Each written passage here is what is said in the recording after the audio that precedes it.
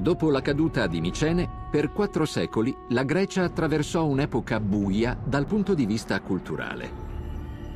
La rinascita iniziò nell'VIII secolo a.C. con la comparsa e lo sviluppo delle città-stato.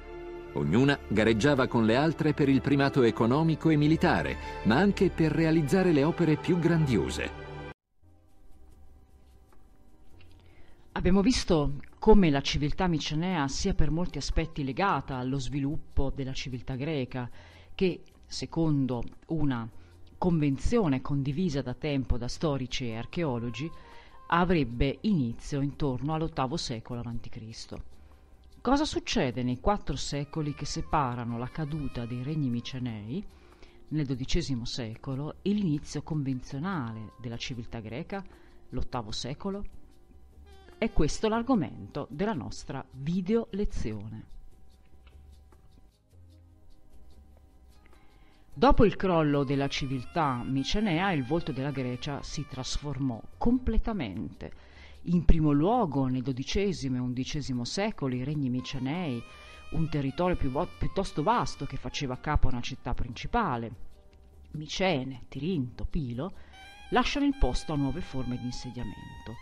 Il primo è quello del centro urbano attorno al quale si organizzano piccole unità territoriali, niente a che vedere con il regno miceneo che era molto più esteso. Il secondo è quello dei villaggi sparsi, inseriti in contesti agricoli e pastorali di maggiore arretratezza.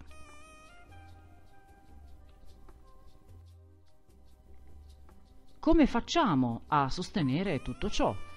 Dagli scavi archeologici condotti nei siti dei regni micenei emergono da una parte tracce di incendi e di crolli che fanno pensare a una distruzione violenta e rapida, dall'altra resti di insediamenti sparsi che sono successivi all'età micenea.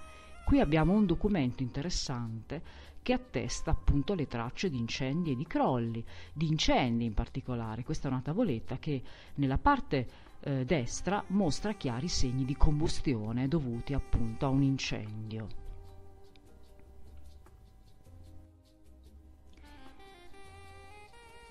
La popolazione in questo periodo si disperde dunque in piccoli villaggi e vive prevalentemente di pastorizia e di agricoltura.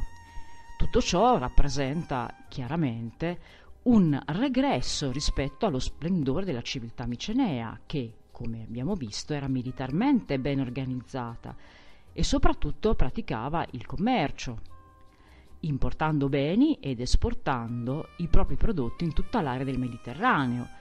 A partire dal XII secolo la famosa anfora micenea, l'anfora staffa, scompare quasi del tutto dall'orizzonte dei traffici del Mediterraneo e nei villaggi e nelle piccole realtà urbane della Grecia di questo periodo non sono stati ritrovati oggetti provenienti da altre zone del Mediterraneo, per esempio il vetro fenicio, che documentano in genere attività di scambi commerciali. È chiaro che il venir meno dei commerci comporti anche isolamento, assenza di contatti culturali con altri popoli e regresso.